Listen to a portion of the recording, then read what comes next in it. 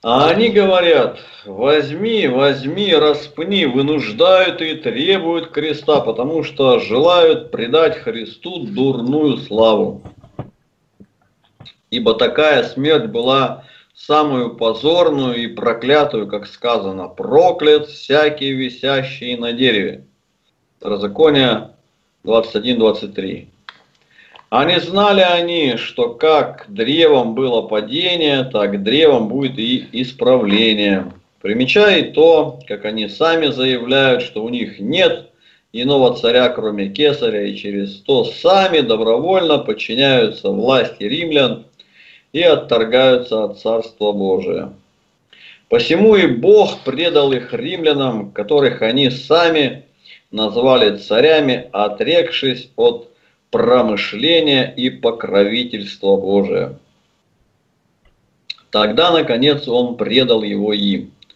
Безумный, надлежало бы исследовать, мог ли он действительно присвоить себе царскую власть, а ты предаешь его, уступаешь по страху и заканчиваешь суд образом, недостойным мужа. Неся крест свой, он вышел, так как они прикосновение к окрестному древу считали делом бесчестным, то на него, как уже осужденного и проклятого, возлагают проклятое дерево. Примечая то, что это совершается согласно с ветхозаветным прообразом. Как там Исаак, Исаак, неся дрова, шел на заклание, так и здесь Господь идет, неся крест, и как бы Воин какой несет оружие, коим не спровергает своего противника. Что Исаак служил образом Господа, это ясно. Исаак значит смех или радость. Кто же иной соделался нашей радостью, как не тот, кто через ангела при самом зачатии подал естеству человеческому радость. Ибо благовестие, которое услышала Дева, приняло все естество человеческое – Отец Исаака, Авраам, значит отец многих народов и есть образ Бога всех, который есть отец иудеев и язычников, по благоволению и определению которого сын его несет крест.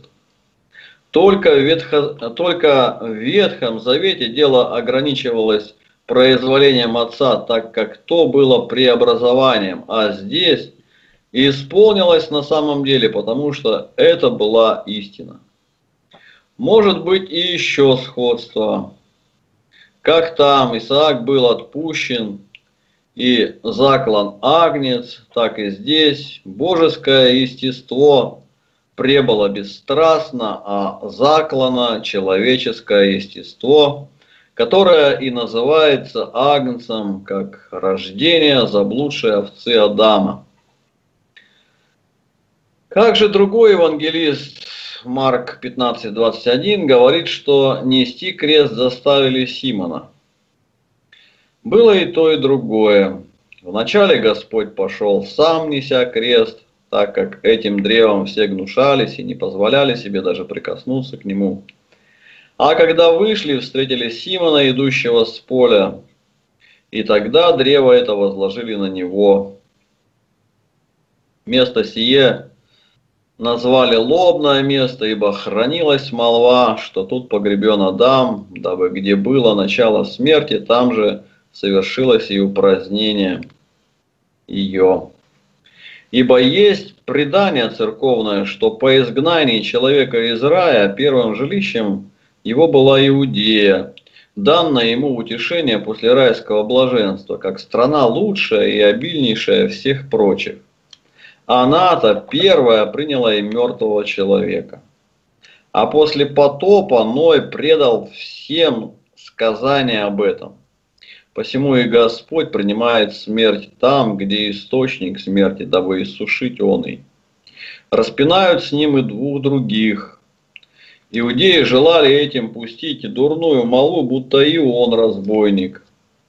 Между тем невольно исполняют этим пророчество, которое говорит – и к злодеям причтен был. Пророк Исаия 53.12. Примечая же премудрость Божию, как она обратила к славе Господа, то, что они делали к бесчестию Его. Еще раз. Примечай же премудрость Божию, как она обратила к славе Господа то, что они делали к бесчестью Его. Ибо Он на самом кресте спас разбойника, что не менее чудно и еще более доказывает божество Его. Ибо прославился один только Он, хотя вместе с Ним распяты были и другие. Этого не сделалось бы, если бы Он был виновен и нарушитель закона. Но не был сам выше закона и судьею беззаконных. Вопросы.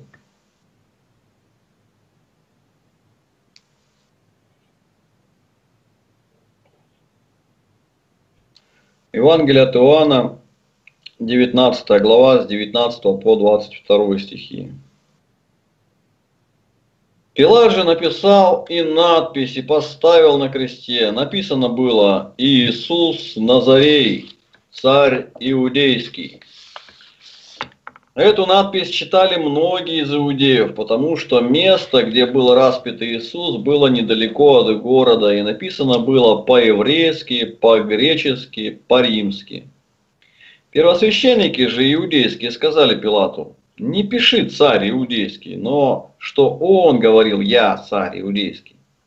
Пилат отвечал, что я написал, то написал. Толкование. Пилат пишет титла на кресте, то есть вину, надпись, объявление. В надписи э, обозначалось, чей крест. Итак, Пилат делает эту надпись с одной стороны для того, чтобы отомстить иудеям за то, что они не послушались его и показать злобу их, по которой они восстали против своего собственного царя. А с другой для того, чтобы защитить славу Христа. Они распяли его с разбойниками, желая бесчестить имя его. Пилат объявляет, что он был не разбойник, но царь их, и это объявляет не на одном, но на трех языках. Ибо естественно было предполагать, что по причине праздника с иудеями пришло много язычников. Выше евангелист 12 глава, 20-21 стих упоминает о некоторых еленах, пришедших видеть Иисуса. Итак, чтобы все знали о неистовстве иудеев, Пилат возвестил о нем на всех языках. Иудеи завидовали Иисусу и тогда, как он был распят. Ибо что говорят? Напиши, что он сам говорил ибо теперь надпись представляется общим мнением иудеев. А если будет прибавлено «сам себя назвал царем», тогда вина будет в его дерзости и гордости. Но Пилат не согласился, а остался при прежнем мнении, посему и говорит, что я написал, то написал. Впрочем, здесь устрояется и нечто другое важное.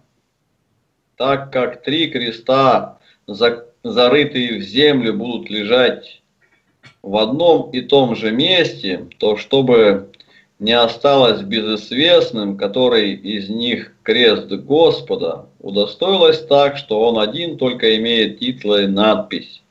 И по этому признаку может быть узнан. Ибо кресты разбойников не имели надписей. Надпись, сделанная на трех языках, дает намек на нечто высшее, именно показывает, что Господь есть царь любомудрия, деятельного, естественного и богословского. Римские буквы служат образом деятельного любомудрия, ибо власть римлян самая мужественная и деятельная в деле военном. Греческие – образ любомудрия естественного, ибо греки занимались изучением природы – еврейские богословского, ибо евреям верено богопознание. Итак, слава тому, кто через крест явил себя имеющим такое царство, кто и мир победил, и нашу деятельность укрепил, и подает познание природы, и через оное вводит во внутреннейшие завесы собственное знание и созерцание – то есть богословие.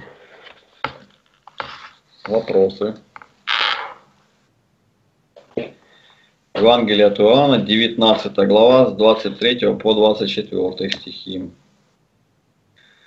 Воины же, когда распяли Иисуса, взяли одежды его и разделили на четыре части, каждому воину по части. И хитон Хитон же был не сшитый, а весь тканый сверху.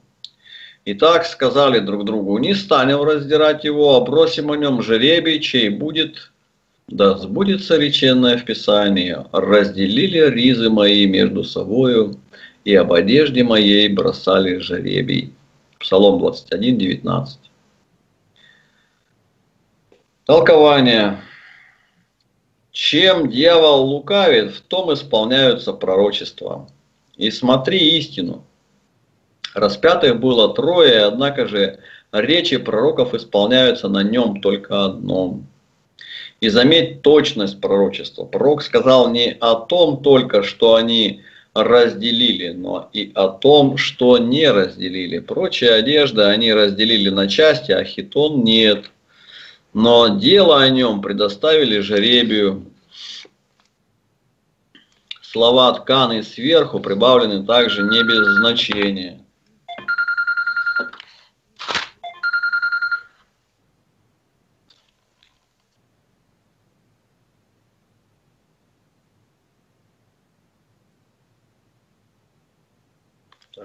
простите.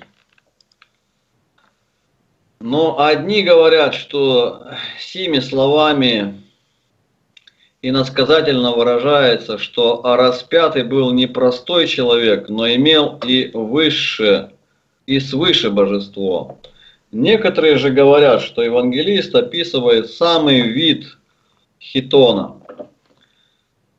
Так как в Палестине, соединяя два куска материи, то есть два полотна ткут одежду, употребляя вместо шва тканье, то чтобы показать, что таков именно был хитон, сказал, что он весь тканый сверху, то есть соткан от начала и сверху донизу.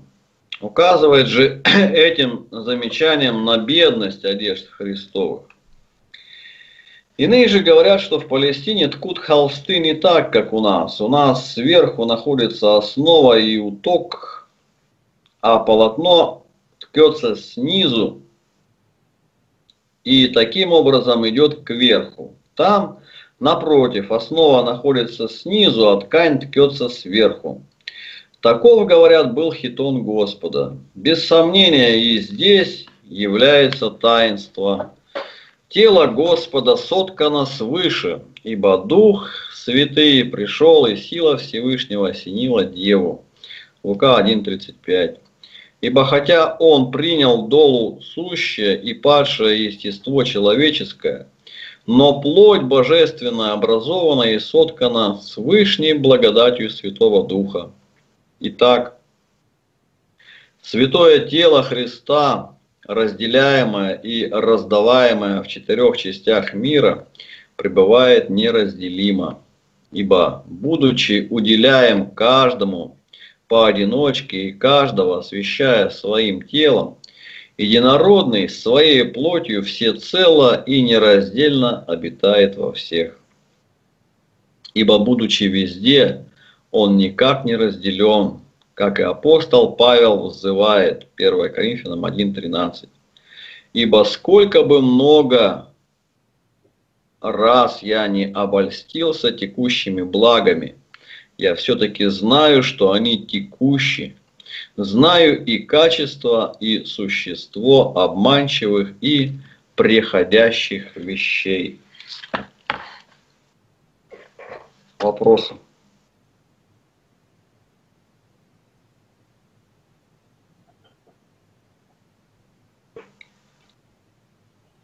Евангелие от Иоанна, 19 глава,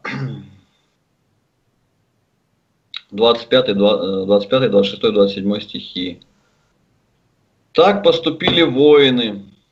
При кресте Иисуса стояли матерь его и сестра матери его, Мария Клеопова и Мария Магдалина. Иисус, увидев матерь и ученика, тут стоящего, которого любил, говорит матери своей, «Жено, «Се сын твой», потом говорит ученику, «Се матерь твоя». И с этого времени ученик сей взял ее к себе. Толкование. Воины действовали по своему неразумию. Он печется о матери, научая нас до последнего издыхания прилагать всякое попечение о родителях. И смотри, тогда как тут находятся и другие жены, он заботится об одной только матери. Ибо на родителей, препятствующих в деле богопочтения, не должно обращать внимания, а таких, которые не препятствуют, нужно всячески заботиться. Так и он, так как сам отходит от жизни, и матери, естественно, было скорбеть и искать покровительства – поручает попечение о ней ученику. Евангелист скрывает свое имя по скромности, ибо если бы он хотел хвалиться, то представил бы и причину, по которой был любим, и, вероятно, она была какая-нибудь великая и дивная. Ах, как он почтил ученика, делая его своим братом! Как хорошо пребывание со Христом страждущим, ибо оно приводит в братство с Ним. Подивись, как Он на кресте все творит без смущения, заботится о матери, исполняет пророчество, отверзает разбойнику рай. Между тем, как прежде распятие испытывает душевное томление, источает пот. Ясно, что последнее принадлежит человеческому естеству, а первое – силе божеской. Да посрамятся Маркион и все прочие пустословившие, будто Господь явился миру призрачно. Ибо если он не родился и не имел матери, то для чего он прилагает о ней столь великое попечение? Почему Мария Клеопова называется сестрою матери его, тогда как Иаким не имел другого чада? Клеопа был брат Иосифу. Когда Клеопа умер бездетный, то по сказанию некоторых Иосиф жену его взял за себя и родил брату детей. Одна из них, упоминаемая теперь Мария, она называется сестрою Богородицы, то есть родственницей. Ибо Писание имеет обыкновение называть сродников братьями. Например, Исаак говорит о Ревеке, что она сестра ему, хотя она была женой его. Так и здесь мнимая дочь Клеопы называется сестрой Богородицы по родству. В Евангелиях являются четыре Марии. Одна Богородица, которую называют, называют матерь Иакова и Иосии, ибо они были дети Иосифа, родившиеся от первой его жены, может быть, жены Клеоповой. Богородица называется матерью их как мачеха, ибо ее считали женой Иосифа. Другая, Магдалина, из которой Господь выгнал семь бесов. Третья, Клеопова, а четвертая, сестра Лазаря. Итак, ученик сей взял Марию к себе, ибо чистая верена чистому. Смотри, как женский пол тверд в бедах, а мужчины все оставили Господа. Подлинно пришел тот, кто слабое укрепляет и уничиженное приемлет. Вопросы?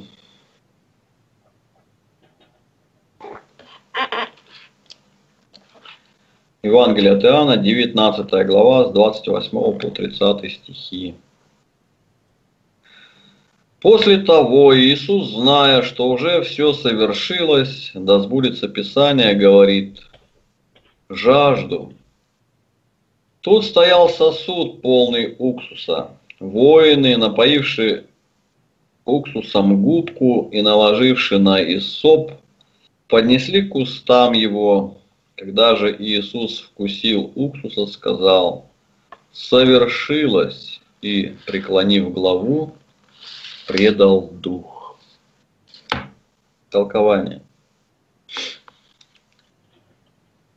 Ибо кончина для тела его наступила не прежде, как сам он восхотел. И он восхотел после того, как все исполнил. Говорит, жажду. И в этом случае опять исполняет пророчество. а они, выказывая злодейский нрав свой, напаяют его уксусом, как они делали с преступниками.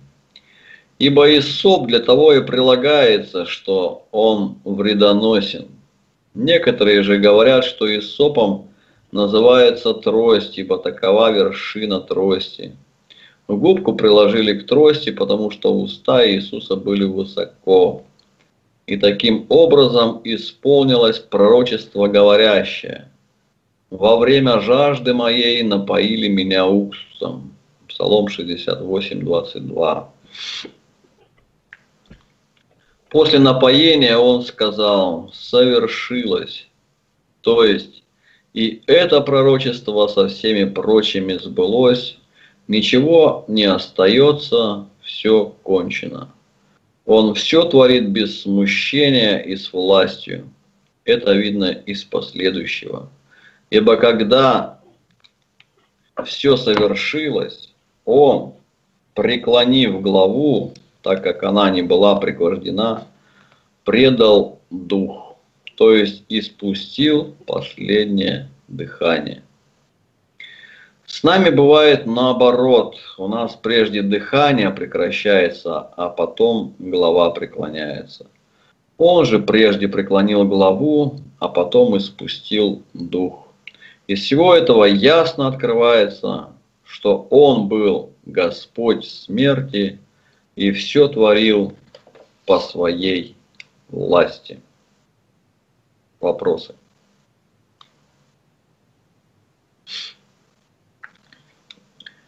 Евангелие от Иоанна, 19 глава, с 31 по 34 стихи. Но так как тогда была пятница, то иудеи, дабы не оставить тел на кресте в субботу, ибо та суббота была день великий, просили Пилата, чтобы перебить у них голени и снять их. И так пришли воины, и у первого перебили голени, и у другого распятого с ним – но пришедшие к Иисусу, как увидели его умершим, не перебили у него голеней, но один из воинов копьем пронзил ему ребра, и тотчас истекла кровь и вода. Толкование. Господь предал дух Богу и Отцу, чтобы показать, что души святых не остаются в гробницах, но востекают в руки Отца всех. А души грешных не извлекаются вместо мучения, то есть в ад. А те, кои поглощают верблюда и отцеживают комара, Матфея 23-24, совершив столь великое злодеяние, выказывают особенную заботливость о дне. Для чего они просят, чтобы перебиты были голени?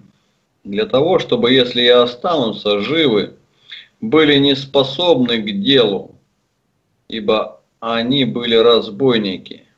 Итак, они не хотели являться в день праздника мстителями и убийцами.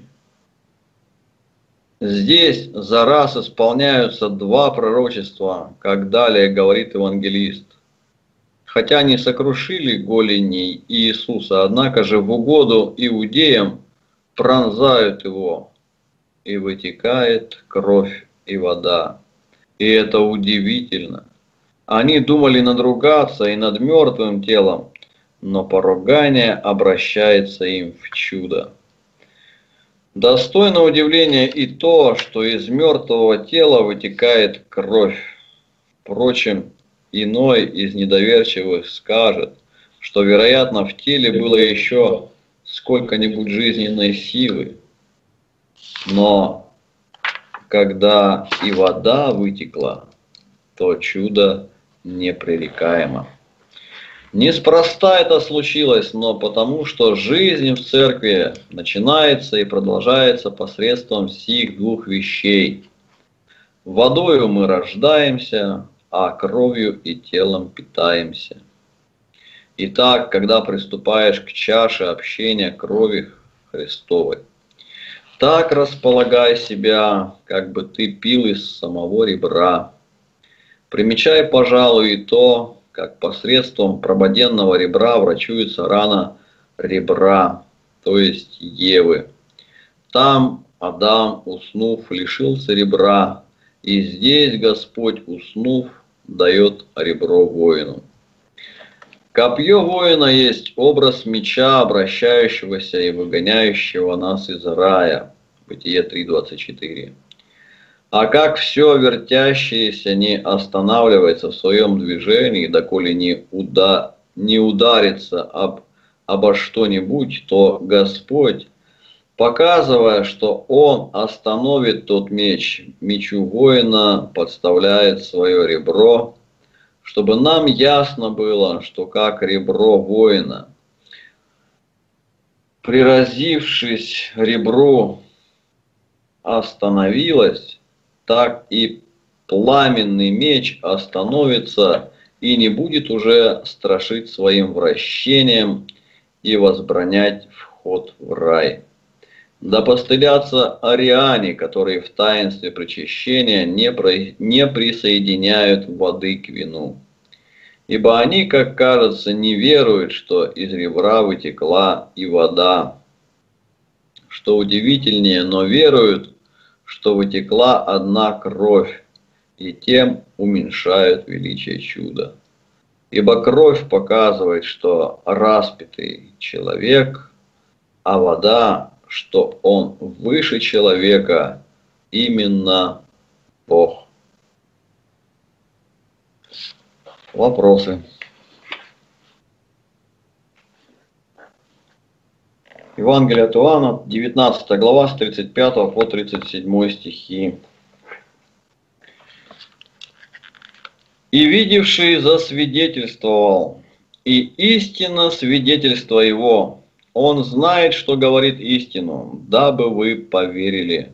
Ибо сие произошло, да сбудется Писание, кость его да не сокрушится. Исход 12.46. Также и в другом месте Писание говорит, воззрят на того, которого пронзили. Захария 12.10. Толкование. Не от других, говорит, я слышал, но сам тут был и видел, и истинно свидетельство мое. Справедливо замечает это. Он повествует о поругании, а не о чем-нибудь великом и досточестном, чтобы тебе запо... заподозривать это сказание. Для того, говорит, я подробно описываю это и не скрываю, по-видимому, бесчестное, чтобы вы верили, что все это несомненно истина, а не составлено в чью-нибудь пользу. Ибо кто говорит в чью-нибудь пользу, тот выставляет более славное. А как Моисея считали достовернее его, то он и его приводит свидетели, что Моисей сказал об Агнце, заколаемом в Пасху, кость не сокрушится, исход 12.10, то, по объяснению евангелиста, исполнилось на Христе. Ибо тот агнец был образом его и много сходного между ним и истиной. Исполнится и другое пророчество, говорящее – возряд на того, кого пронзили. Захария 12.10. Ибо когда он придет судить, тогда увидят его в лучшем и боговиднейшем теле, и пронзившие узнают его и восплачут.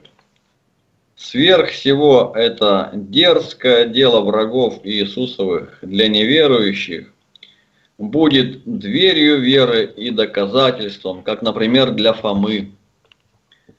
Ибо он удостоверился в воскресении через осязание ребра. Итак, кость не сокрушится у Иисуса, а ребро его проливает нам источники бытия и жизни. Вода – источник бытия, ибо мы через нее становимся христианами, а кровь жизни, ибо мы ею питаемся. И Слово Божие есть агнец, вкушай его от головы до ног, голова божества, ибо оно глава, и ног плоти, ибо она самая низшая часть, еще и внутренности его, то есть тайная и сокровенная, с благоговением принимая в пищу, мы не сокрушаем костей, то есть трудных для понимания и возвышенных мыслей. Ибо чего не можем понять, того мы не сокрушаем, то есть не стараемся понять худо и с извращением. Итак, когда здраво понимаем, тогда не сокрушаем, ибо божественное сохраняем в целости. А когда будем усиливаться понять и принимаем еретическое понимание, тогда сокрушаем и ломаем твердые и недоступные мысли. Такие предметы, то есть неудобоприятные, надобно жечь огнем, то есть придавать духу, и он обделает и утончит их, потому что он постигает все и глубины Божии. 2 Коринфянам 2.10.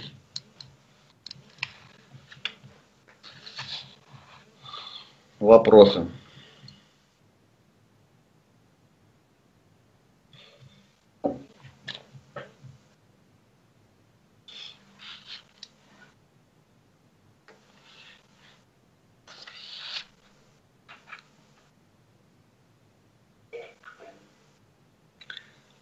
Евангелие от Иоанна, 19 глава, с 38 по 42 стихи.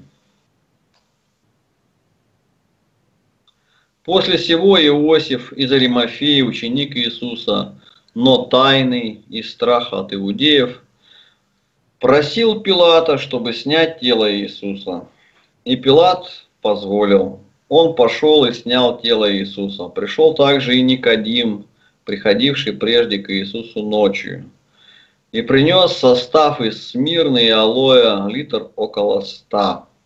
Итак, они взяли тело Иисуса, обвили его пеленами с благовониями, как обыкновенно погребают иудеи. На том месте, где он распят, был сад, и в саду гроб новый, в котором еще никто не был положен. Там положили Иисуса ради пятницы иудейской, потому что гроб был близко. Толкованием. Почему не из двенадцати кто-нибудь пришел к Пилату, но осмелился на такое дело Иосиф, быть может, принадлежавший к числу семидесяти? Если кто-нибудь скажет, что ученики, 12, скрылись по страху от иудеев, то и он одержим был таким же страхом. Можно сказать, что он, Иосиф, был человек весьма знаменитый и по своей знаменитости известен и Пилату. Подумав, что гнев иудеев укротился, когда ненавистный для них Иисус уже распят, Иосиф безбоязненно приходит и вместе с Никодимом совершает великолепное погребение – Оба они не представляли об нем ничего божественного, а расположены к нему только как к человеку, потому что приносят такие благовония, которые преимущественно имели силу надолго сохранять тело и не давать ему скоро предаться тлению. А это показывало, что они не представляли о нем ничего великого. Однако же они выказывают к нему великую любовь, потому что погребают не как преступника, но великолепно по обычаю иудейскому. Время заставляло их спешить, ибо смерть Иисуса последовала в девятом часу. Потом, покуда они ходили к Пилату и пока снимали тело, естественно, наступил уже вечер, когда нельзя было устроять, устроять гробницу. Посему они полагают его в ближайшую гробницу, ибо на том месте, где он распят, был сад, и в саду гроб новый. Устрояется так, что гроб близко, посему ученики могут прийти и быть зрителями и свидетелями случившегося, и могут быть представлены воины для охранения, и будет неуместно речь о похищении. Всего этого не могло бы быть, если бы Иисус погребен был далеко, Гроб был новый, в котором еще никто не был положен. Так устроилось для того, чтобы нельзя было перетолковать воскресение, будто бы воскрес иной, а не Иисус. И иначе. Гроб новый образно показывал на то, что через гроб Господень будет обновление от смерти и тления, и в нем мы все обновимся. Заметь, прошу тебя, как много, обнищ... э, как много обнищал Господь для нас. При жизни он не имел дома, по смерти же не имеет гроба, но полагается в чуждом. Он наг, и одевает его Иосиф. Иисус и ныне бывает мертв, когда его умерщвляют люди, делающие насилие или страстные до приобретений. Он страдает также от голода, бывает также наг, ибо что не терпит бедняк, все то терпит Христос.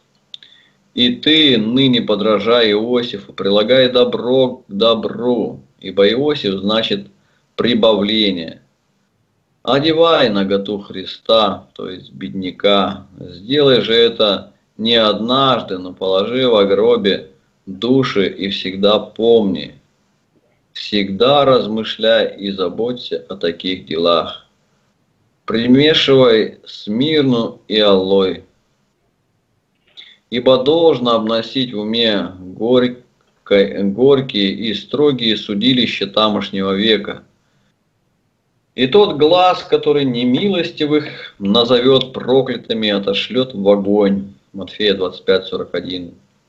По моему мнению, нет ничего ужаснее этого глаза. Вопросы?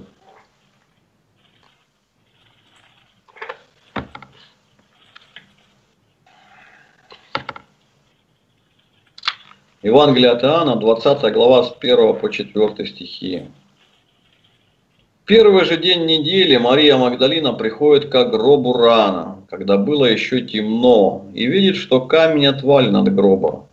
Итак, бежит и приходит к Симону Петру и к другому ученику, которого любил Иисус, и говорит им, «Унесли Господа из гроба, и не знаем, где положили его». Тотчас вышел Петр и другой ученик и пошли к гробу. Они побежали оба вместе, но другой ученик бежал скорее Петра и пришел к гробу первый. Толкование. Единую от суббот евангелист называет тот день, который мы называем Господним. Ибо субботу называют седмицу дней, а единую от суббот первый день. Бог есть солнце его, никогда не заходящее. Как Господь воскрес в этот день, тленное свое тело сделав нетленным, так и мы в будущем веке получим нетление. Итак, первый день семи, э, седмицы приходит Мария Магдалина. Так как суббота прошла и законом уже не воспрещалось движение – она отправляется, желая найти некоторое утешение от места погребения Господа. И увидевший камень, отваленным от гроба, с большой поспешностью идет к Петру и Иоанну. Господь воскрес тогда, когда камень лежал еще на месте, и печати были целы. Но как нужно было кому-нибудь быть свидетелями воскресения? И войти в гроб, то камень отвален, то камень отвален ангелом. Мария, ничего еще не знающая о воскресении, называет это событие похищением и переложением. Затем ученики приходят к гробу и видят лежащими одни пелены, а это было знаком истинного воскресения. Ибо если бы кто-нибудь переложил тело, тот не обнажил бы его. Если бы кто украл, тот не позаботился бы свивать и класть отдельно на особом месте. Но взял бы тело просто, как было можно. Посему евангелист предварительно сказал, что тело Христово Погребено было со многою смирную, которая не хуже смолы приклеивает пелены к телу, чтобы мы, когда услышим, что плат лежал на особом месте, нисколько не верили тем, которые говорят, будто тело Христово украдено. Ибо вор не был бы так глуп, чтобы на дело излишнее употреблять столько старания и не подозревать, что чем доля будет им заниматься, тем скорее может быть пойман. В котором часу последовало воскресенье, о том никто не знает, подобно как неизвестно и время второго пришествия. Если евангелист Матфей говорит, что землетрясение совершилось в глубокий вечер, а Иоанн говорит, что Мария пришла и увидела отваленный камень утром, когда было еще темно, то в этом нет разногласия. Ибо, во-первых, по Матфею поздно в субботу пришли женщины, а Иоанна теперь не упоминается о женщинах. Когда сказал об этом Матфей, излишне было бы о том же говорить и Иоанну. Но Мария Магдалина приходит утром, Различные пришествия к гробу. То Мария приходит с прочими женами, то одна, то она только одна. Отсюда и предоставляется разногласие между евангелистами, что они говорят о разных приходах, каждый о своем. Так, во-первых, говорим, что Матфей говорит об одном приходе жен, а Иоанн о другом, о приходе жены Магдалины. Потом глубокий вечер и утро когда еще темно, что иной назвал бы глубоким утром, совпадающим в одно и то же, так что все это время есть середина ночи. Если спросишь, каким образом Петр, Иоанн и жены входили в гроб, когда тут были стражи, то ответ простой, что когда Господь воскрес и землетрясением предстал при гробе ангел, Тогда стражи ушли объявлять об этом фарисеям, и таким образом гроб освободи, освободился от военной стражи, и ученики бесстрашно могли приходить. Вопросы?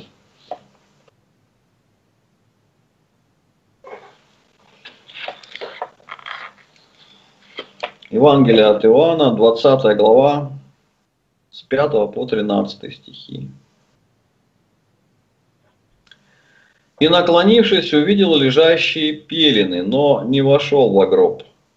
Вслед за ним приходит Симон Петр и входит в гроб, и видит одни пелены лежащие, и плат, который был на голове его.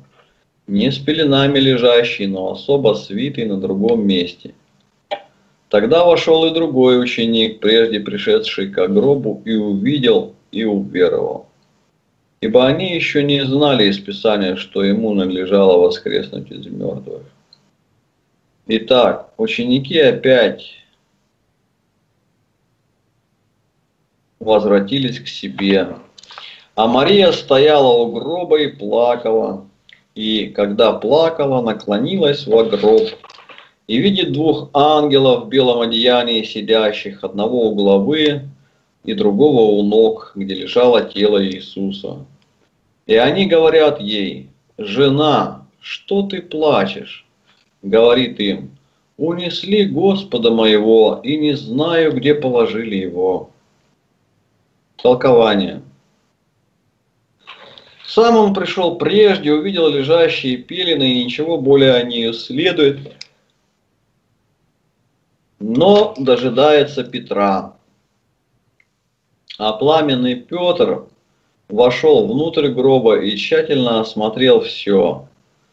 Тогда и он, и Иоанн вошел после него Петра, увидел погребальные пелены, лежащими отдельно одни от других, и уверовал. Впрочем, не тому, что Господь воскрес, а тому, что его украли. Он поверил словам Марии, что взяли Господа. Почему же поверил Марии, а не помыслил о воскресении?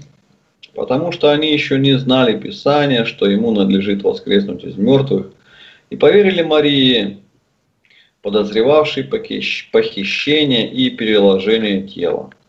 Итак, они возвратились к себе, то есть сами по себе, ничего более не узнавши.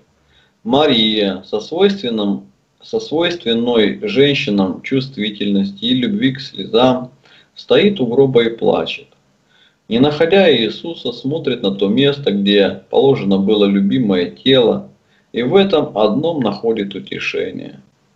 Зато и удостаивается видеть больше, чем ученики. Она увидела то, чего не видели именно двух ангелов. Видение ангелов было для нее величайшим утешением. И светлое их одеяние и сияние их одного у головы, а другого у ног. Показывало, что они знают нечто большее, и если будут спрошены, могут наставить. И слова «что ты плачешь» полны искреннего участия, чтобы Мария не смутилась, как женщина вопросом этим утешает ее смущение. Спрашивают с таким участием и кротостью. «Жена, что ты плачешь?» Она же с жаром и любовью отвечает. «Унесли Господа моего, потому и плачу. Не знаю, куда и переложили его. Я пошла бы туда, помазала бы тело его, и в этом, по крайней мере, нашла бы некоторое утешение.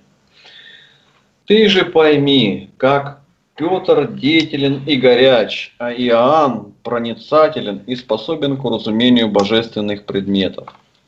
Чисто созерцательный предваряет знанием и даровитостью, а деятельный отстает, однако же усердием и старанием побеждает остроту его. И деятельный первый усматривает какую-нибудь божественную тайну. Не подобное ли нечто бывает и в науках? И здесь из двоих мальчиков малоспособный и медленный старанием превосходит того, который по природе быстрее и способнее. Так и в духовных предметах деятельный и неискусный в слове нередко понимает лучше, чем созерцательный. Всякая душа, господствующая над страстями, называется Марией. Очистившись посредством бесстрастия, она видит в Иисусе Бога и человека. Ибо один из ангелов, сидящий в головах, указывает на божество, а другой, сидящий в ногах, на уничиженное воплощение слова. Вопросы.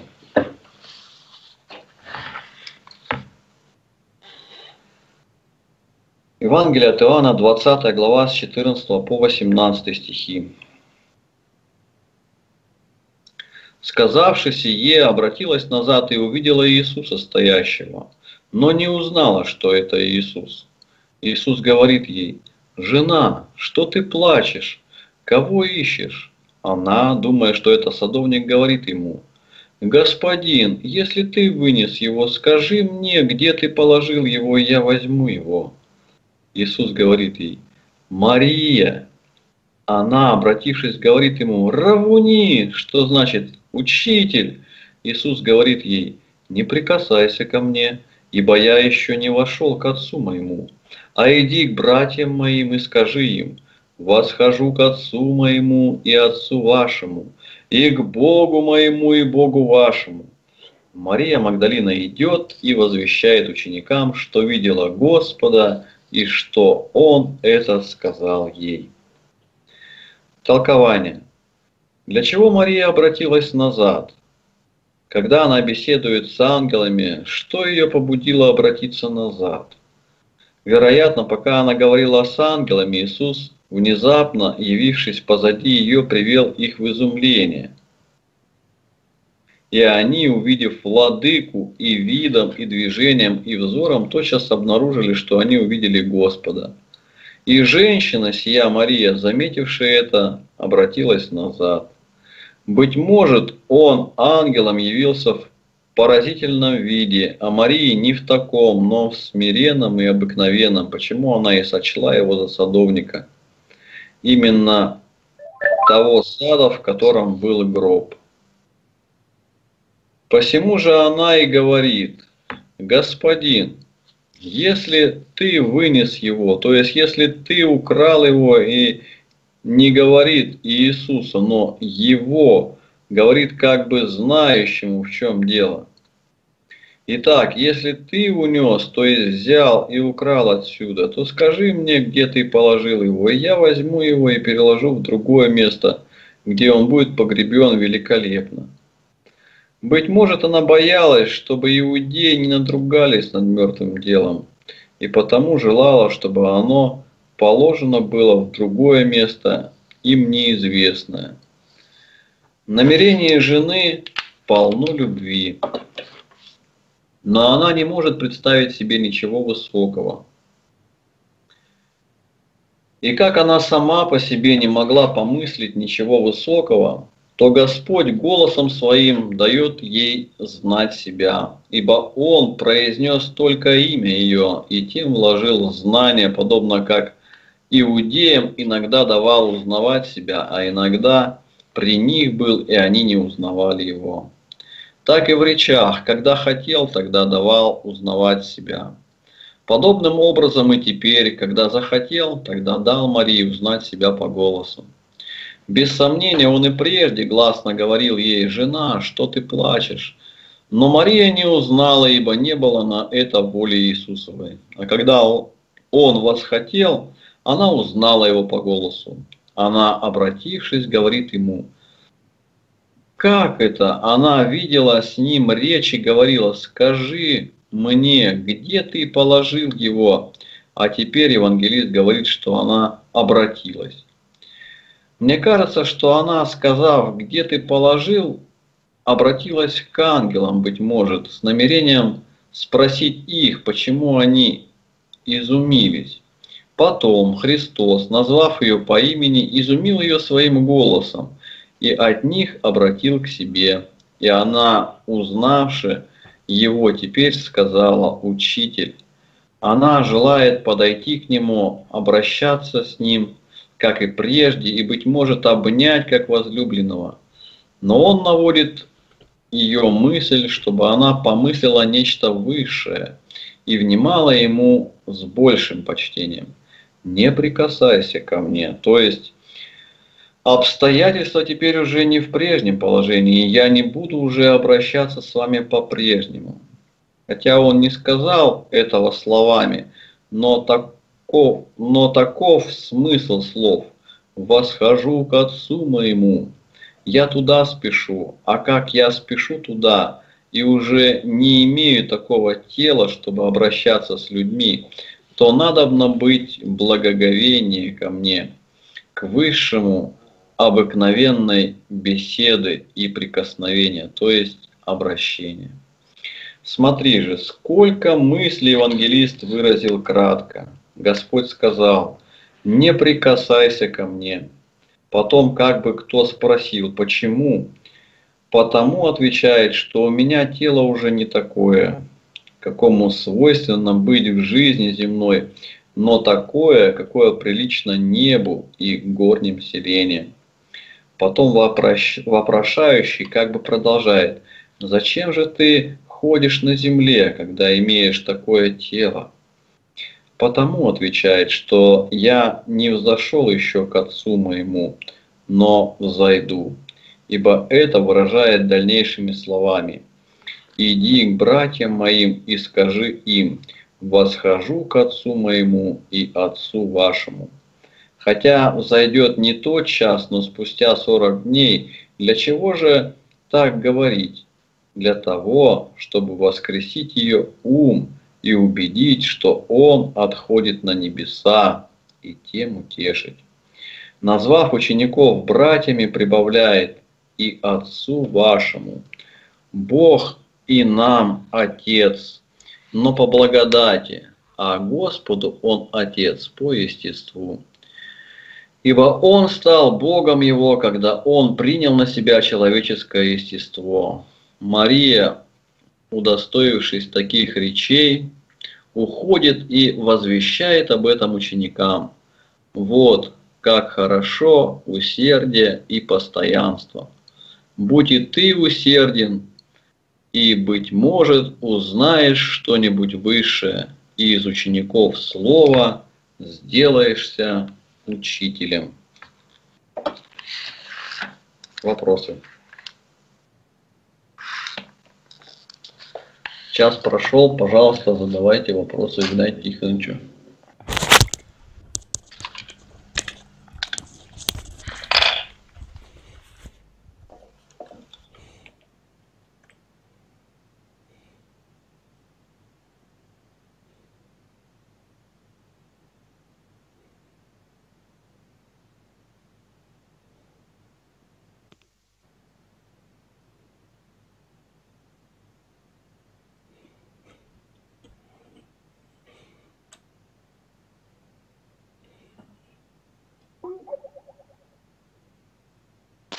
Можно вопрос задать? Ну я же сказал, задавайте. Зачем спрашивать, время терять? Задавайте, конечно. Э, я хотел вот спросить.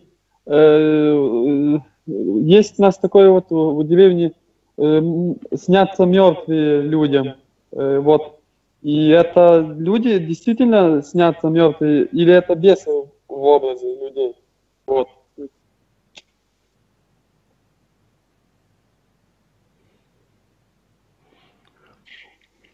Про сны Серахов говорит там, 37 8 глава смотреть. Гоняющийся за тенью. Вот больше ничего тут нету. Верящий снам человек неразумный. Сон есть сон. Если наяву являются, а такое бывает, это нечистая сила. Наяву, просто днем вдруг она видит, что он пришел домой убитый муж – а во сне про еще говори, там что попало идет.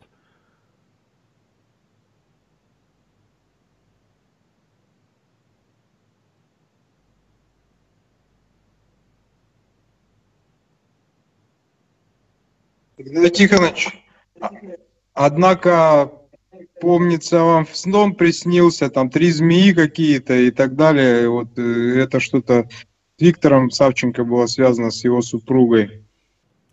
Но бывают сны, все разные. Бывают сны от Бога. Мы видим у Даниила, Иосиф разгадывал сны. Но так кто являлся-то? Никто, сон, картина. Здесь говорится, а кто во сне являлся-то? Мы не знаем где. Другой сон бывает от лукавого, навевает мысли, и от переедания и большой заботы. Это одно и то же.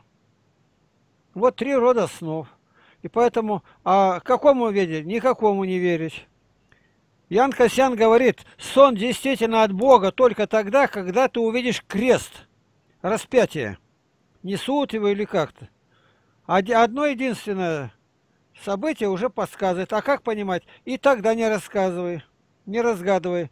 А пойди найди, кто понимает. И как это будет разъяснено, послушаешь. Надо или нет разгадывать.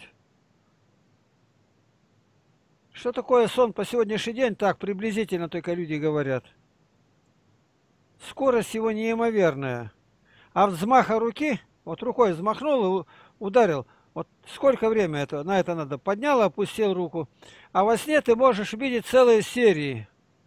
Один так вот видел, в Парижской коммуне участвовал, его арестовали, привели на галиотину, и в это время топор опускается, он в палатке был, а ветром его раскачало, и палка, эта, которая вход закрывала-то на брезенте, она ударила прям по шее. И вот в этом ударе совместилось все, что он до этого видел.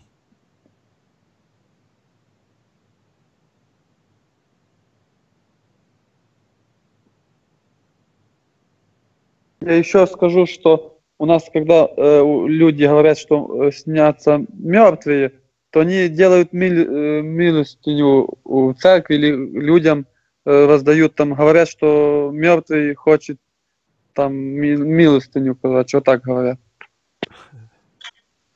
Ну что там говорят? Да ну пусть говорят. На, на каждый чих э, толкование давать, что ли. Они говорят, ну, еще из этого, ну и говори, ничем не подтвержденное. Верящий с нам, говорит, что обнимающий тень. Все. Больше ничего не надо. А если наяву, вот человек работал, а в это время осияла комната светом, явился ангел. Надо ли верить или не верить? Советует не верить. За это ты осужден не будешь. А если, как Исааки Пещерский, поклонишься, потеряешь все. Они как мящик тебя будут до утра перекидывать друг другу.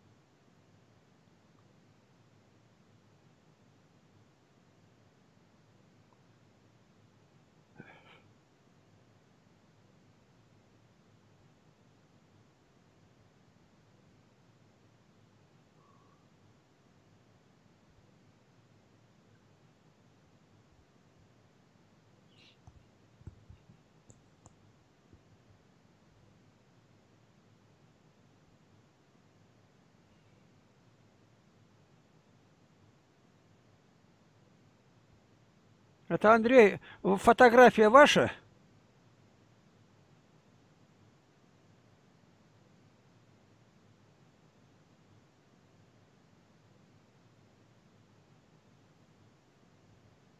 Что-то все замерло.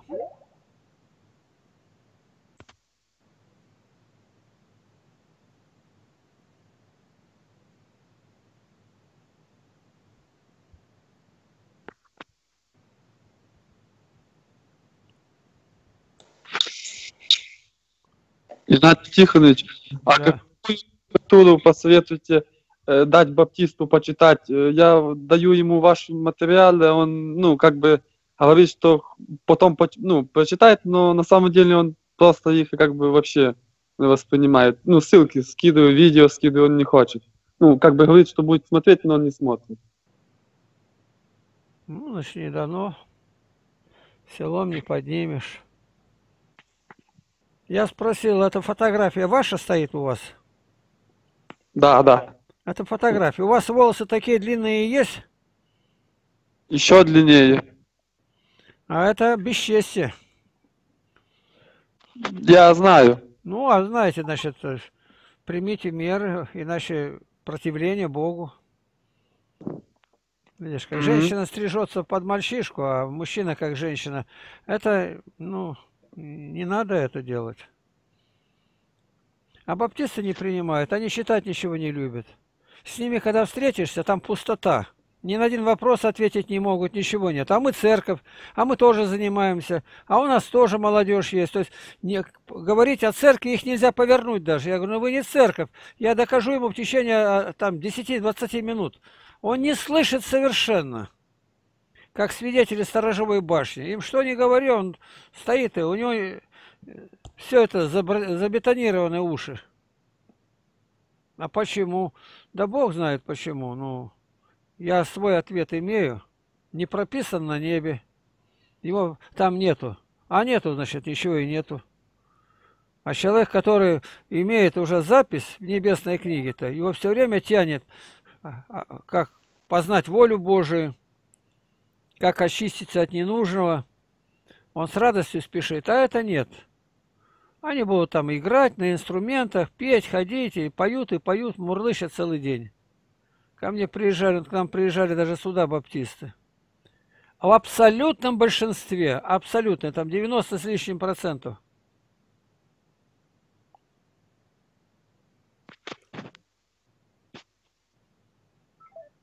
А вообще возможно, что ну, кто-то из них войдет в Царство Божие, или это не дано вот, знать нам? ну как знать? Ничего мы не знаем. Мы, должны свидетельствовать. Если он не противоречит, то встреча может продолжиться. А если прямо уже начинает все попирать, но после первого-второго разумления отойди от него. Писание так говорит. Не ставь задачи обращать, ты ему возвести истину. И поведут перед правителей для свидетельства. Вот и все. Не для того, чтобы ты там их сделал верующими. Это от нас не зависит. Это делает благодать обращающая. А мы должны заняться благодатью призывающей. Показывать Писание. И надо все время этим заниматься. Тогда будет опыт. А сейчас у православных-то возьми, они ничего не знают. Мощи, вот они теперь чаще исповедуются, чаще причащаются. Ни одного евангельского слова нету вообще.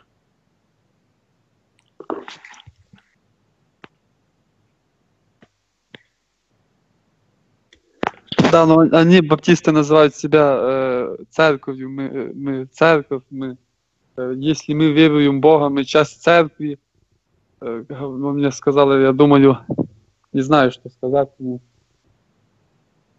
человек, человек просто там, он этих своих, там, Шевченко какой-то у них там есть, он говорит, это вообще, говорит, послушай Шевченко, он такой хороший человек, умный, э, вот, э, знает истину, а я говорю, послушай, послушай Игнатия Лапкина, он, он, там у него много видео есть, там, бесед, он говорит, я смотрел, как он меня там называет еретиком и больше не хочет, не хочет смотреть видео.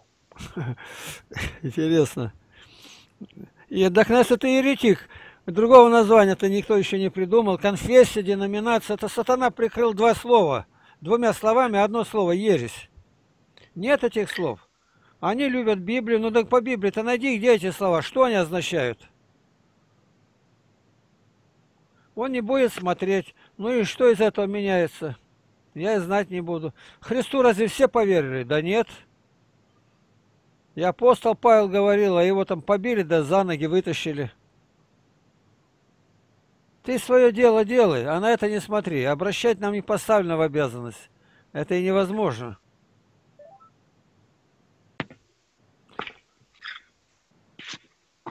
Спаси Христос. Слава Иисусу.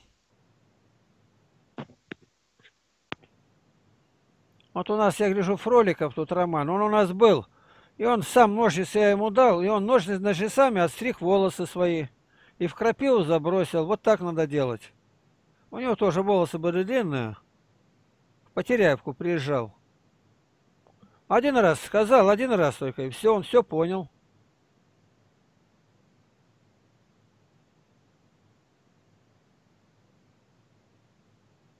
Игнатий Тихонович, Христос воскрес! Воистину воскрес! Скажите, пожалуйста, вот я прослушаю видео «4000 вопросы ответить», там, где вы начитываете с э, Никитой. Вы озвучили все, все 4000 вопросов или только эти, то, что в, плей, в плейлисте на Ютубе? Там 74 видео только. Да ну, конечно, не все. Надо смотреть. Вот мы дошли до 12 12 папки «Дети». Я сейчас насчитываю помаленьку. Ну вот посмотри каждую папку, то открой и посмотри, сколько вопросов. Я знаю, что только по вопросам евреев 174 вопроса было. Эти вопросы-то они а, от евреев, может, и шли, они на занятиях. Я в университет, пяти университетах сразу вел занятия. И везде мне записки давали, а потом уж я отвечал, а дома более расширенное. Это чудо Божье. Попросили вопросы на бумагу оставить.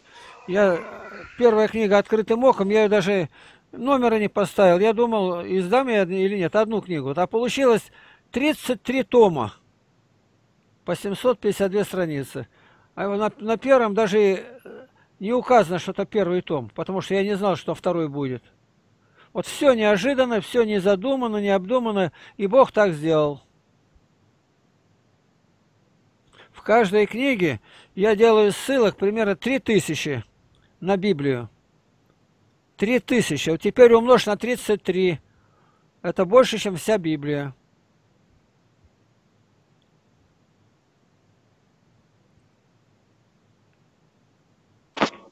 Еще, Игнатий Тихонович, хотел спросить. Э, я, может, немножко отстал от последних событий, но э, мне мой товарищ Баптист показывал фотографии, как у них там рукополагают э, их этих я не знаю, как назвать, там, то есть видео или как. Ну, короче, показал фотки, что у них есть рукоположение. Бо я, ну, на эту тему с ними беседовал. Вот не знаю, откуда они взяли его, кто там дал. В магазине здесь, военный магазин, продается все. Я могу купить погоны генерала, а звездочки, четыре звездочки генерала армии. Я могу купить сегодня же. Но буду ли я генералом от этого-то? Ну, все буду делать так, вставать так же, честь отдавать научусь, как Брежнев, а так вот. Ну, еще это, я генералом стал. Это фальш все, подражание. Дети маленькие играют куколки, у них заходят настоящий жених с невестой у них, они на них ноль внимания, они куколками играют, сидят, так и эти, в песочнице. С ними проще всего говорить. Как узнать, кто настоящий? Рукоположение, если есть от апостольских времен, все. А у них ничего нету. А у пророка Нееми говорится, искали родословно, не нашли, и были исключены из священства. У них нет ничего. Мы одно время сильно занимались этим, и люди ездили по Европе, там везде узнавали. Нигде нету. Что интересно, ни один епископ не переходил туда, чтобы он не был отлученный.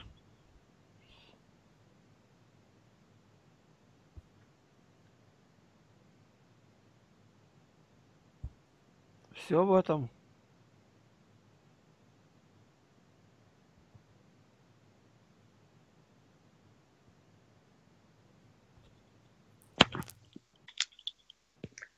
Игнатий Тихович, что думаете за ВК Вячеслава?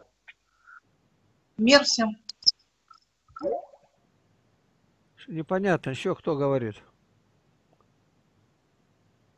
Я спросил, что думаете за отрока Вячеслава? У нас здесь просто люди с ума сошли с этим Вячеславом. Славиком, то есть, или как его там. Купили себе книги, там его, и это вообще такое безумие творится из-за этого Вячеслава, Славика этого. Не надо ничего, надо делать конкретное дело. Вот мы занимаемся вопрос иконопочитания. Почему мы имеем иконы, почитаем? Согласно Слову Божьему. Вопрос стоит так, почему у них икон нет? По образу чего у них построено? Почему они детей не крестят? На основании чего? У нас все обосновано на Слове Божьем. Так и было в исторических э, временах. А у них ничего этого нету. Только одно. Надо научиться говорить, я спасен. Я спасен. Я говорю, ты можешь пасть? Нет. Все отвечают, нет. Я спасен, я уже вписан. Все, никуда. Можешь спокоен быть. Писание так не учит. Игнатий Тихонович, э, Андрей про Славика Чербаркульского спрашивает. То там все с ума посходили по нему. Кто еще спрашивает? Я спрашивал за Славика этого. Ну, у нас здесь люди книги себе покупают, там все такое. Ну, почти с ума сошли. Ну, что там делают, интересно. А вот там делают, ну зачем тебе это и знать-то? Делает и делай они. Другого у них нет занятия. Нам раз это павильона, самому тебе не стыдно, куда идешь? Мальчишка. Он динозавры, мультики смотрел и говорит, пророчества какие-то. Специальная комиссия была от патриархии. Ничего не было, все это обман.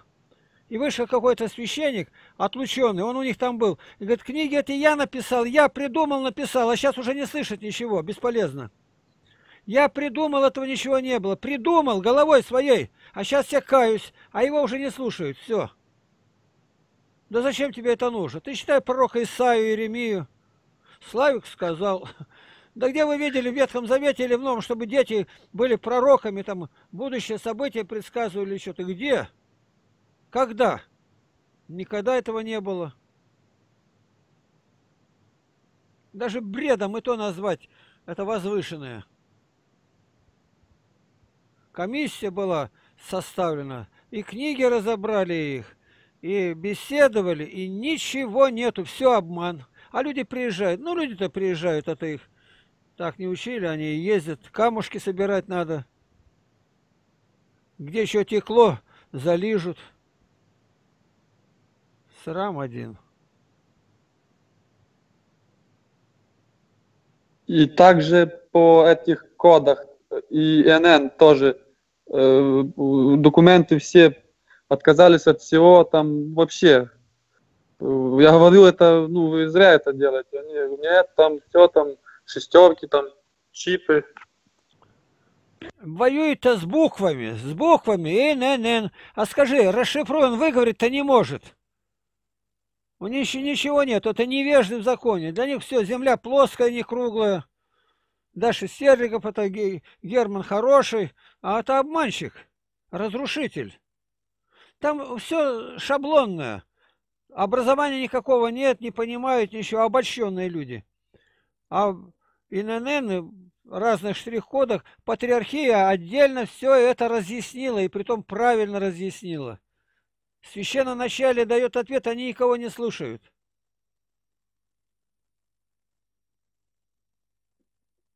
А обманщики будут преуспевать, так написано. А сколько возьми Виссарион, за живого Бога его признают в Красноярском крае. Торопов Сергей, милиционер. Люди-то ничего не имеют. Им нужно пощупать, на зубок взять. Даже говорить и то зря, что все это.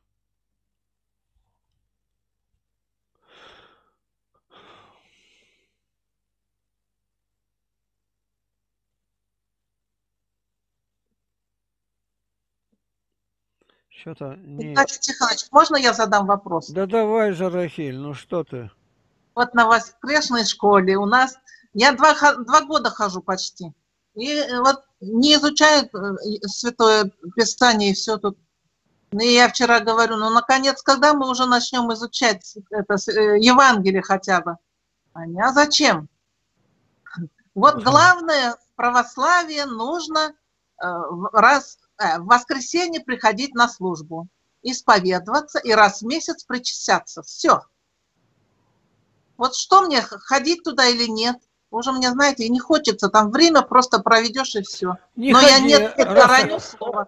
раз такое дело, не ходи, занимайся дома. У нас такие материалы профессорам не провернуть. А ты ходишь одно и то же. Действительно, зачем идти? Ты ничего не имеешь оттуда. Ну, просто есть надежда, что я, может, я нет-нет, из, стихи из Библии привожу им, что вот надо, надо. Ну, не знаю. Дела наши говорят больше слов. А ты им не говори, а сама делает. Богу угодно, этот город будет виден. Ты верни книгу сначала от папа. Не возвращает вот. Пойди наверное, домой не- к нему, зайди и скажи, мне нужно вернуть. Вернуть А надо. Я думаю, он ее дал почитать выше там кому-нибудь. Неважно, приди к нему прямо на дом, стой и говори, мне надо ее книгу, верните, и все. А если ему Ага. надо, скажи, вот вам адрес дай мой, пускай напишет и купит. Ну да. Ладно, так и сделаю. Так и сделай. Напиши мой какой электронный, в скайпе пускай выйдет, в Mail.ru. Я ему скину все данные, карточки, Мгм. куда еще послать.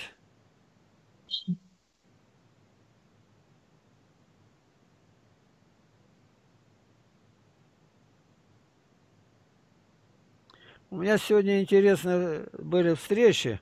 Был, ну, он уже не мальчишка, уже му- муж 21 год. И вот он э, раньше еще с мной встречались, и он говорит, меня это остановило от многих дел-то. У него параноидная шизофрения.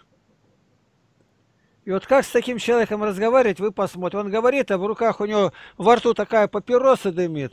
И вот с этого мы начали говорить. Я ее, ее ужал, все, но теперь надо ставить там. У меня очень медленно качает, а отдавать я не хочу. К утру, думаю, будет стоять. Посмотрите. Параноидная шизофрения во свете Библии. Я думаю, никто не рассматривал это.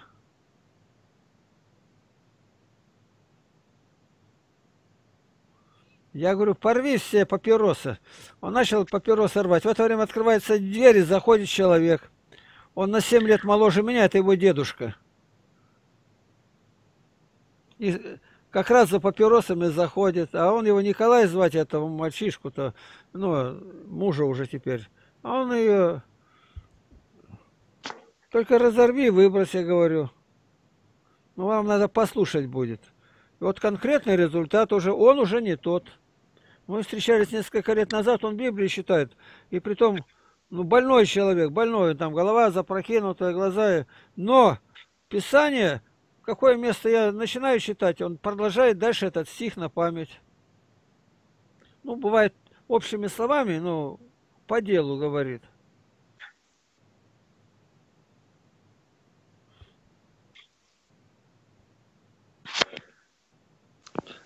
Мир вам, Игнатий Тихонович, это Роман Фрольков. А таким людям, вот им, которые лежат, особенно в психиатрии и там и так далее, им такие препараты дают для развития мозга, нейронов, и у них память лучше. И соображалка иногда даже лучше временами работает, чем у простых людей. Улучшает память препараты такие, лекарства. Ну и что дальше? Ну, просто вы об этом сказали. Вот. Я как раз про препараты и говорил, что ничего не надо принимать. Об этом разговор шел. Я у него узнал. Не так, полчаса примерно беседа была, но она буквально все обхватила. В монахи пойду, я говорю, ну что, что на это сказать? Надо бежать от них, а ты, я пойду к ним.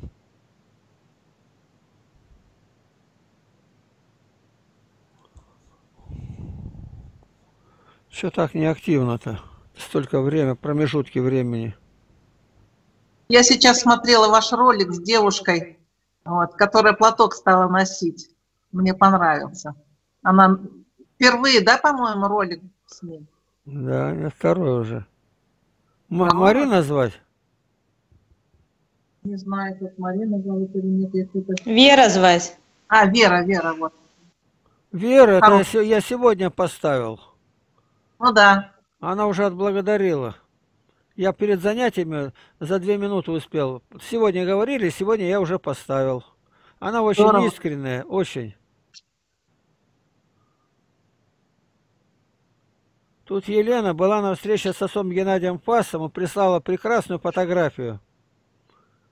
Я не вижу, где она тут, Вера.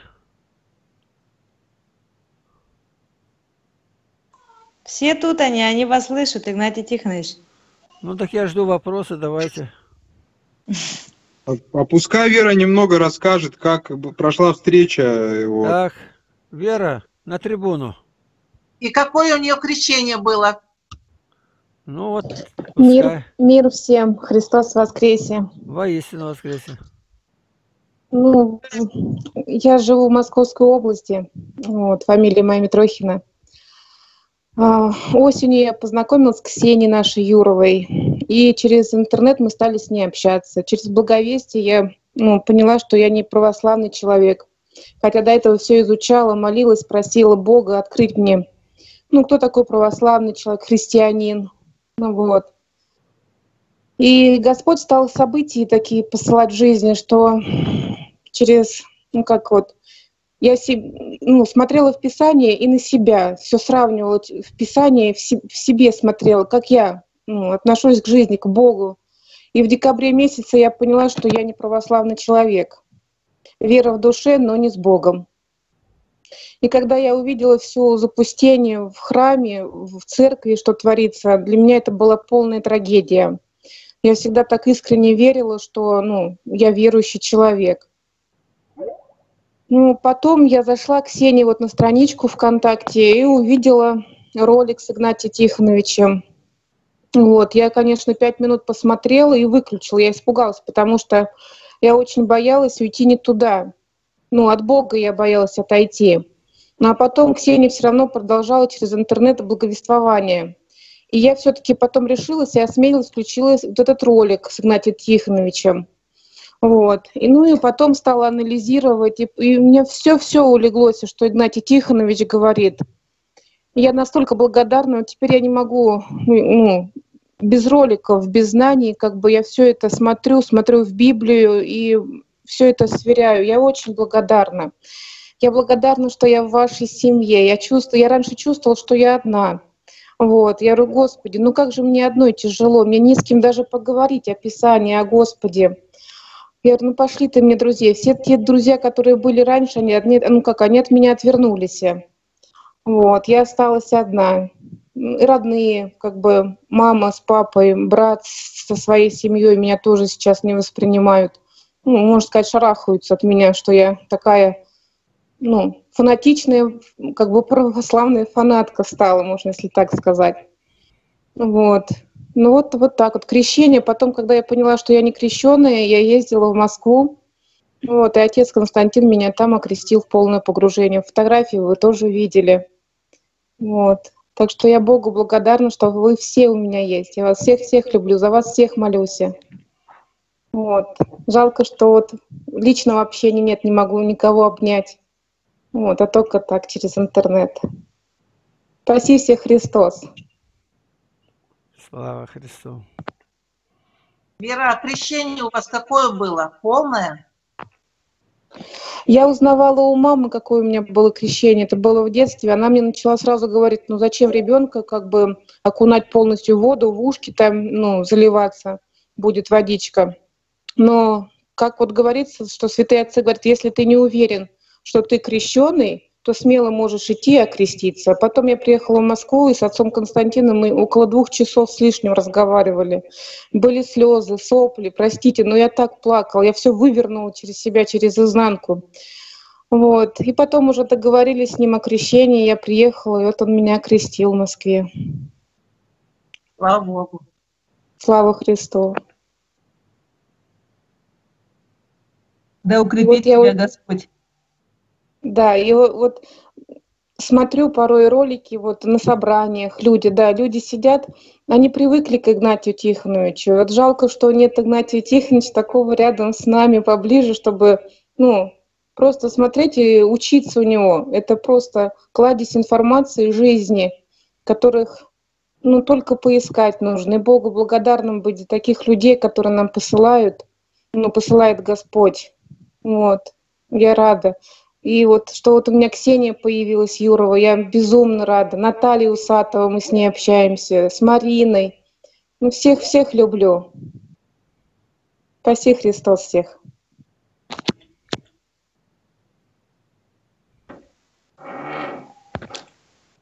Мир вам. Это Роман Фроликов. Ну вот у нас Игнатий Тихонович-то далеко, но он близко через видеоролики. Вот всем тоже говорите, что пусть смотрели канал во свете Библии.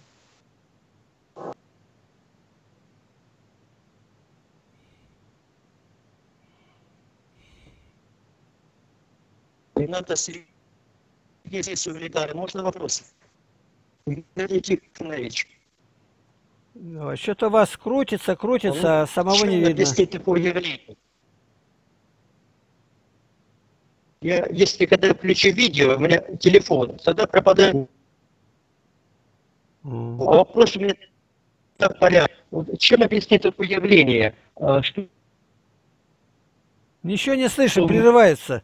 Сейчас совершенно утрачен интерес ко всем себе и меня, и для меня представляет только канал во свете Библии.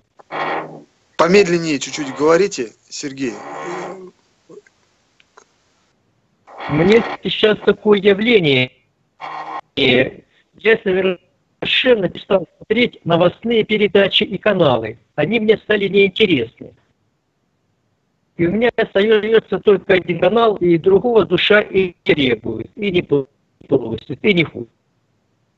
Вот такое явление за, за собой замечаю. Да это явление всех нас Как коснулось. слышно меня? Слышно хорошо, но между словами как бы паузу надо делать. Потому что нас все равно записывают, и они определяют каждое слово, и когда не справляется, когда плохой интернет, в общем, главное уходит на то, чтобы записать нас. Поэтому надо четче говорить и паузу между словами делать побольше, подольше.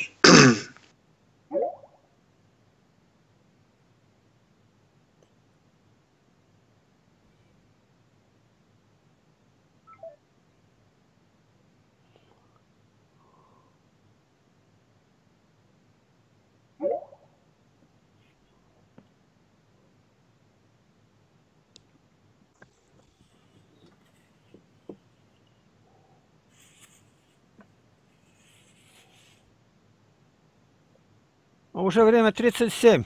Все, на молитву.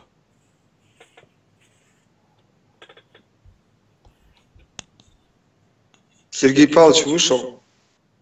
Ну что, молитесь давайте, еще Сергей Павловича.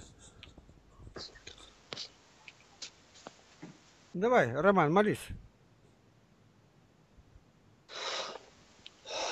Благодарим Тебя, Господи, Иисусе Христе, Сыне Божий, что позволил нам собраться сегодня, изучать Святую Библию, Слово Твое, пообщаться. Господи, слава Тебе.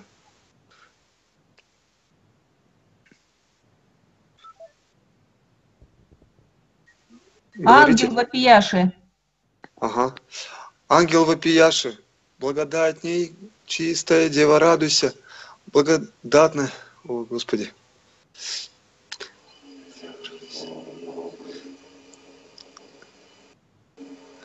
Кто-нибудь начните, я уже что-то у меня вылетело с головы. И паки реку радуйся, твой сын Ангел вопиющий, благодать нечистая дева, радуйся. И паки реку радуйся, твой сын воскресе три дневе над гроба. И мертвые возвигнувы люди, веселитеся. Светися, светися, новый Иерусалиме, слава Бога Господня на тебе восия. Ликуй ныне и веселися, Сионе, ты же чистая красуся Богородице, о восстании Рождества Твоего. Молитесь, Игнатий Тихонович. Любящий наш Отец Небесный, как велики щедроты Твои и долготерпение. Научи нас вникать в каждое слово Твое и слышать голос Духа Твоего Святого. Крепко держаться веры святой православной, не увлечься заблуждениями беззаконных. Родных и близких наших найди, которые не познали Тебя. И правителей наставь на путь истины, и сохрани от покушения на них. Мы просим Тебя, Владыка, и наши сердца исполни благодатью, желанием возвещать истину тем, кто ничего еще не знает. Укрепи народ Твой. Тебе, Боже, хвала, слава, честь и поклонение за все. Отец, Сын и Святой Дух. Аминь. Аминь, спаси Христос. Слава Иисусу Христу. Аминь. Аминь. Христос. Аминь, спаси Христос. Аминь. Аминь. Спаси Христос. Спаси Христос.